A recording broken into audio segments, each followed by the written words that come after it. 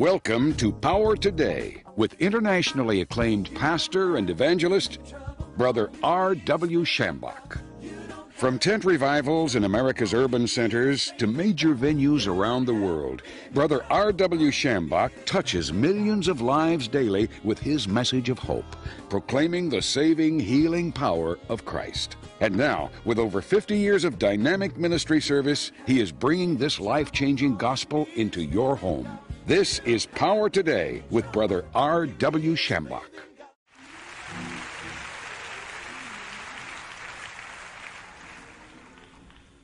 I want to read something to you from the book of Acts. Now, at the very beginning of the book, it says the Acts of the Apostles. But I like to change one word it's the Acts of the Holy Ghost. And this is the only book in the Bible that has not ended, there has no ending to it. Because that means the Holy Ghost is still acting.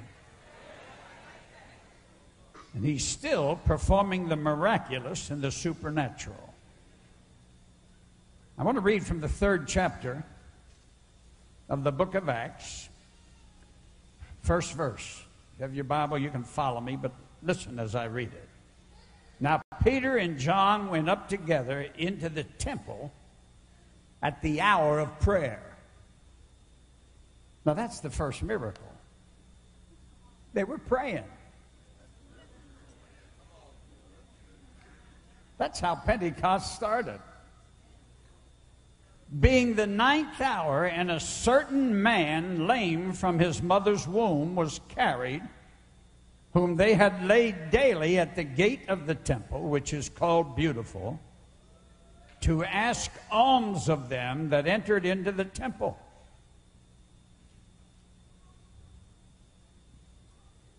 Who, seeing Peter and John about to go into the temple, asked for alms. Peter, fastening his eyes upon him with John, said, Look on us. And he gave heed unto them, expecting to receive something of them. He didn't know what he was going to receive, but I, I, I underlined the word he expected. He was expecting to receive something. Then Peter said, Silver and gold have I none, but such as I have, I give thee, or give I thee. In the name of Jesus Christ of Nazareth, rise up and walk.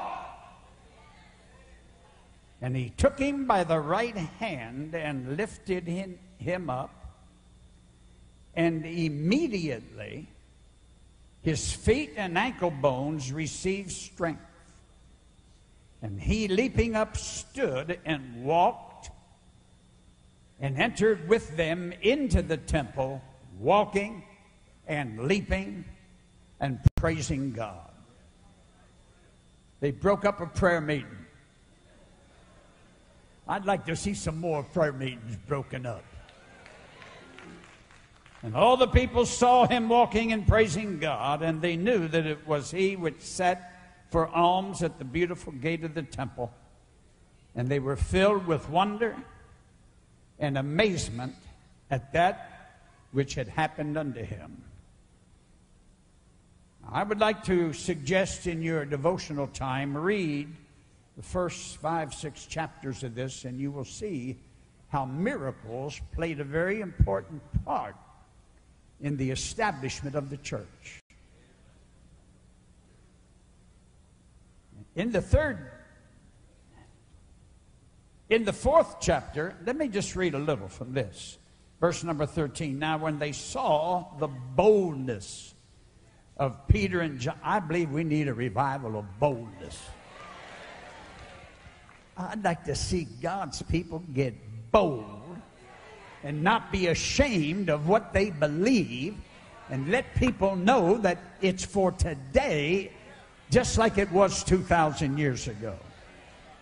When they saw the boldness of Peter and John and perceived that they were unlearned and ignorant men, they marveled and they took knowledge of them that they had been with Jesus. What a testimony. And beholding the man which was healed standing with them, they could say nothing against it. But when they had commanded them to go aside out of the council, they conferred among themselves, saying, What shall we do to these men? For that indeed a notable miracle which hath been done by them is manifest to all them that dwell in Jerusalem, and we cannot deny it. He's doing it again.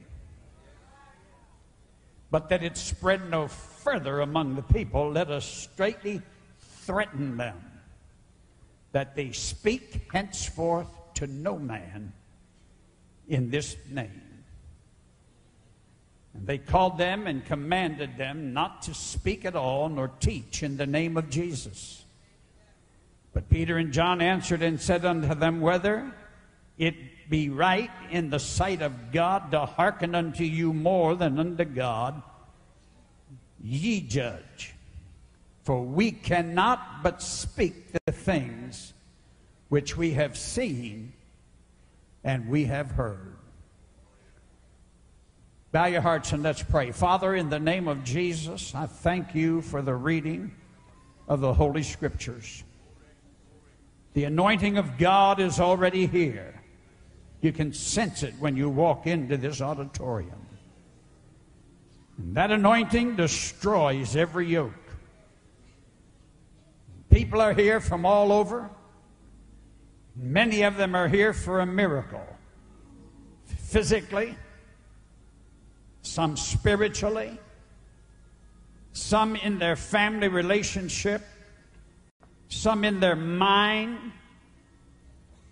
Some need to be delivered from demon forces.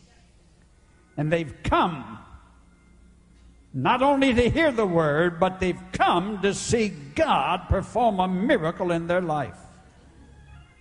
Lord, I've been praying, let this be the night don't allow one soul to leave this place disappointed. But let them leave here tonight singing a new song. I got just what I wanted from the Lord. And everybody said, Amen, amen. and amen. Many of you, I'm not going to go into the whole thing, but many of you have heard me tell the story, especially on TBN of the greatest miracle that I ever witnessed was in A.A. Allen's meeting. A lot of people, when I tell that, they come to me, it's church folks. They said, Did that really happen? I said, uh, No, I'm just telling a lie. Sinners will believe what you say but it's church folks that don't believe it. Where be all your miracles? When we were in Birmingham, Alabama, I'll never forget it. I'll just paraphrase it. A mother from Knoxville, Tennessee came to Birmingham, Alabama with her little son, four years of age, that was born with 26 major diseases. He was born blind and deaf and dumb, and his tongue hanged out of his mouth. Lay on his chin. He had deformed lungs, deformed liver, deformed heart. Only two and a half chambers were functioning in the heart. He had no business to be alive. And she told me, she said, Brother Schambach, I preached the afternoon service. We called that the faith clinic to get him ready for the operating table tonight. Many of you need an operation tonight. And I've been praying about this. Let me go on just a little bit more about the story. But she came to me, and in my spirit, I said, If God kept this boy alive four years, then he must be going to do something for him. Because the doctors told her that that boy would never see his first birthday. And he's approaching four. Both arms were deformed, matted together, elbows protruding up into the stomach, both legs deformed, the knees touching the elbows. He was in a fetal position. Expecting that child to die any moment. He was born without male organs. And he was born without feet. 26 major diseases. And that woman stayed for a week, like some of you are going to do here. Don't go home early. You don't know what's coming. That woman stayed for a week. She lived in a motel, ate three restaurant meals. She gave in every service. We had three services a day. And she came to me the following Sunday after I got done preaching, and she said, Is the man of God going to pray for my son? I said, I don't know. Because God used him in a supernatural way where he sees things. And he'd always take you on a trip. Halfway through his message, he was stopped and he says, uh, God is taking me on a trip. And I, I, told her, I said, Now, I don't know whether he's going to pray, but I'll tell you this one thing. If he does not pray, now she told me, she said, I, I ain't got but $20 left.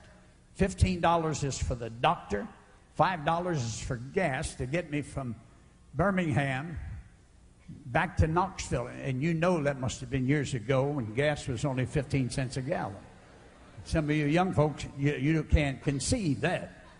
But that's when it was cheap. And she said, All I have left is $20, and you ain't going to see no doctor for $15. And she said, I got to take him back. Do you believe he's going to pray? And I said, I don't know, but I will tell you this one thing.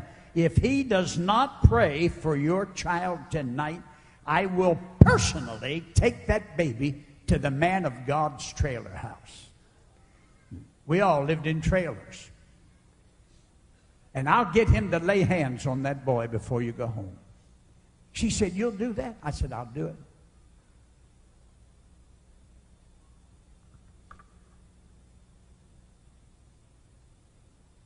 She went back to her seat, got in the service that night. I introduced the man of God, and he come flying out there. And he said, I believe God's going to do great things tonight. He said, But before we do this, I'm going to take an offering. Doesn't that sound familiar? I hope you all obeyed God tonight when Pastor Parsley asked you to do something. Because that's what triggers many a miracle. It did in this case. And she said, All I have left is $20. And he come out and he said, I believe God's going to do great things tonight. But he said, Before I preach, I want you to give God an offering of faith. And I never heard him use that terminology before this. And he said, Now, if you don't know what I mean, an offering of faith is giving God something you can't afford. If you can afford it, there's no faith connected to it. And I saw that little woman throw that little baby into the arms of another woman, and he leaped she leaped out into the aisle and came running. He was holding the offering buckets. We were in the fairgrounds auditorium there. I'll never forget this. And she came running down there and threw an offering into the bucket. She was three quarters of the way back and she was the first one to the bucket.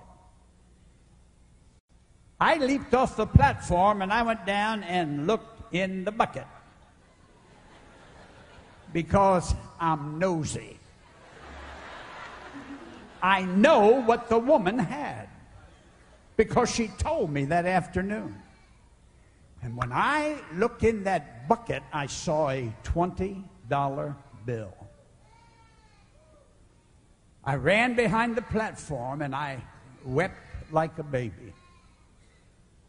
And I cried out to God and I said, Oh God, I've been trying to teach faith to this woman all week. But I said, Please, Jesus, give me faith like I saw that woman manifest tonight. I don't know whether I could have done that. And you don't know whether you could do it unless you're in a similar situation. I jumped back on the platform and he started to preach. He was into his message about 10 minutes and he said, I'm being carried away in the spirit. I said, Oh no. Here we go on another trip. And all I have on my mind is that baby boy.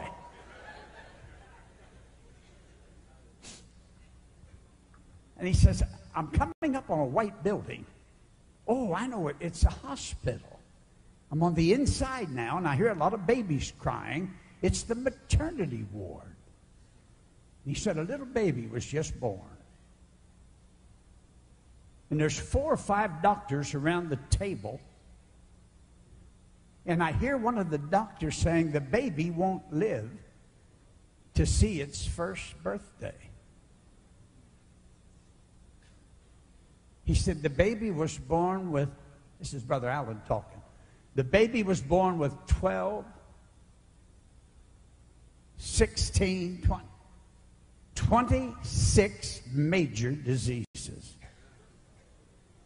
And I come alive. I said, My God, tonight's that baby's night.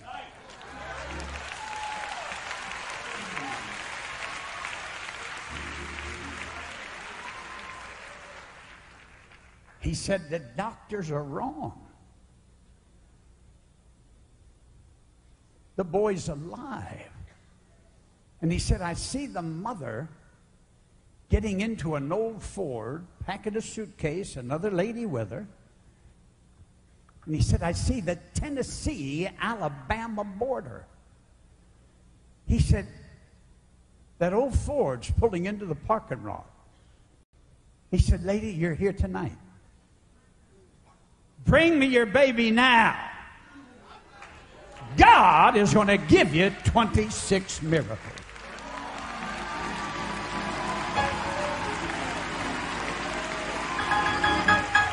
Nobody told me this story. I was there. I was an eyewitness to it. And she came and put that baby in his arms. Mama was standing over there at the end of the platform. He paced back and forth. He said, I want everybody to stand. Close your eyes. I'm standing with him, pacing with him. I said, I ain't closing my eyes. I said, I've been waiting for this all week. I'm going to be scriptural. I'm going to watch and pray. Darlene Bishop, you know what I'm talking about, don't you? I'm going to watch and pray. And I watched. And the first thing I saw, those blind eyes, a milky color, whirlpools began to spin around. And all of a sudden, the whirlpool was gone. And I was looking into the eyes of a brown eyed baby boy.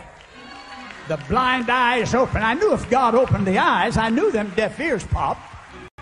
And all of a sudden, the next thing, the arms started cracking and popping like cordwood. And both arms came out. Both legs simultaneously with the arms began to snap and brought both of those legs out. Remember, the boy was born without feet and born without male organs. But here, all of a sudden, and I saw this with my own eyes, God created feet on the little boy that had no feet.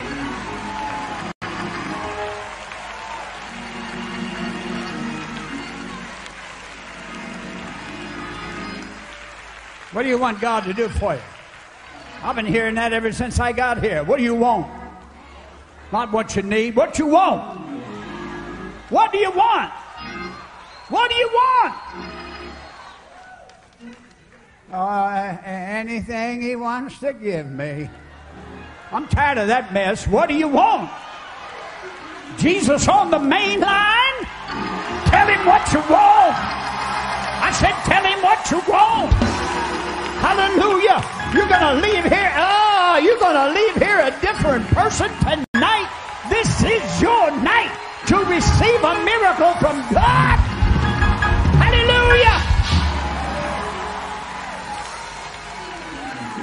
A little while ago, you told somebody, I believe you're going to get a miracle. Turn around that same person and say, uh uh-uh. uh. I'm the one going to get the miracle tonight. That's what I'm here for. I'm believing God for myself. I'm going to claim this for myself. Oh, hallelujah. Hallelujah, hallelujah, hallelujah.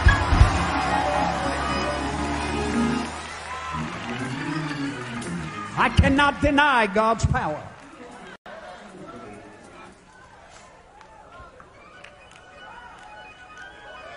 Brother Allen put that boy down on his brand new feet. No shoes. You don't put shoes on clubs. He had no shoes, barefoot. Never saw his mama. Never taught the tongue snap back into his mouth for the first time. And he started taking off and running to mama. And I'm running right on this trail. And he leaped into his mama's arms, and I heard him say his first words, Dwight.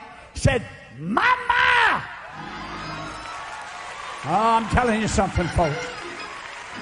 That was the greatest night that I believe I was in because that precipitated other miracles. 12 wheelchairs on that side. 12 wheelchairs. And when you see wheelchairs, a lot of them are motorcycle accident victims broken backs and hips, no hope. On that side were 15 stretchers they brought in from the hospital. All of a sudden, when they saw that miracle of that little boy, everybody in the wheelchairs, nobody laid hands on them. But all of them got up like a master sergeant commanded them to rise up. And they come out of the wheelchairs totally healed by the power of the living Christ. Every eye left the wheelchairs and every eye went to the stretchers. Anticipation set in. God never disappointed them. Nobody laid hands on them, no human hands. And everybody in those stretchers got up and walked out, totally healed by the power of Christ. Ah, a notable miracle has taken place. One of the greatest, I believe, that I've ever seen. And it was precipitated by a $20 offering. That's all she had. You can't buy a miracle for $20. The man of God said, Give God an offering of faith. I hope you all did what God told you to do. When this man of God talked about them phone calls, because when you give, you precipitate an offering. I mean, you participate, precipitate a miracle that's coming your way, especially if you're obedient to God. Now, that woman wrote me a letter, and this will top it off. She went to Knoxville and she said, I'd have walked home just to get a new baby. I'd have walked home. But she said, I didn't have to walk, Brother Schambach. She sent me the letter. She said, But you and that preacher left early that night. And I'm standing there, and he, she said, A little woman came and shook my hand. She was so happy for what God did for me. And she said there was a folded piece of paper between the palms. And she said she left it in my palm. And she said, I'm so glad for you. And she looked in her palm, and there was a $20 bill. And other people began to line up. And everybody that shook her hand had the same sensation between the palms. And they come by so fast, she said, I just opened my purse, Brother Schambach, and said, Glory to God. Hallelujah. Thank you, Jesus. Bless the Lord. Oh, my soul. hey!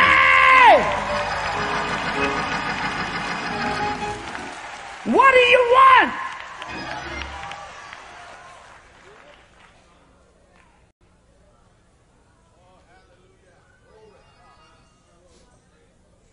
She said, Brother Schambach, I went in the ladies' room and counted all that money. She said, and I counted it. She told me what it was. And she said, Isn't that just like Jesus? She said, I ate in three restaurants every day, gave in three offerings every day, paid the hotel bill.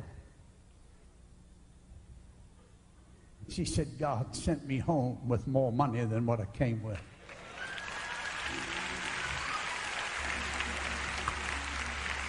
And I'll never forget her P.S. P.S. Brother Schambach, you can't beat God given. No matter how much you try. I stole that from her, Perky. I made a book out of it. You just can't beat God given no matter how much you try. So you taking another offering? Uh, maybe some of you missed the first one and you didn't obey God, and you may have to come down here and turn it loose. I ain't taking no offering, but I, I come here to preach. I didn't get started yet. Last year I got cheated out of it. Well, I'm going to make up for it tonight. It's only five after eight in Tyler, Texas. Brother Parsley always says, make yourself at home. I'm going to make myself at home. What do you want God to do for you? Just what do you want? Tell three people what you want. Go ahead now. Tell it. Brother Schambach is grateful for all of you faithful partners and friends whose generous gifts are responsible for bringing this program to multitudes of needy people. Remember, our prayer partners are standing by to pray with you, even after this broadcast comes to a close. You can also reach us by writing to us at Schambach Miracle Revivals, P.O. Box 9009, Tyler, Texas 75711. If you're in Canada, write to us at P.O. Box 33089, Edmonton, Alberta, T5P 3Z0. You can also visit our website at schambach.org.